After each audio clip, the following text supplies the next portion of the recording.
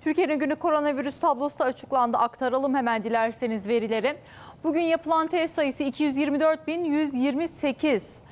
E, vaka sayısı 6261, hasta sayısı 561, ağır hasta sayısı 1000'in altında 997. Bugün maalesef 69 kişiyi de koronavirüs sebebiyle kaybettik efendim. Allah'tan rahmet diliyoruz hayatını kaybedenlere. Şimdi devam edelim. Fransa Cumhurbaşkanı Emmanuel